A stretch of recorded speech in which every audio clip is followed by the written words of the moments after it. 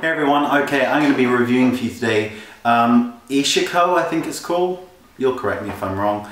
It's ultra high definition powder, 10 nanometer silica spheres, smallest in the world for a flawless finish for all skin types and all skin tones.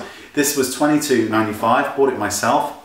It is the most ultra fine powder you've ever seen. When you open it up, there's like a little cloud of smoke that comes out.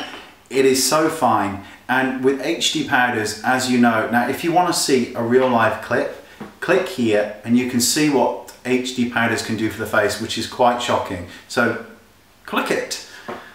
This doesn't do that. You have no flashback from this whatsoever, none at all. It's so fine, so beautiful that it will go on the skin. Can you see what's in there? It's, a, it's the whitest powder you've ever seen and it can be used on a deeper skin tones and it won't turn it ashy. It leaves an, a flawless matte finish to the skin. It is absolutely gorgeous. I would like 100 grams of this and not 10 grams because I would like more, more, more.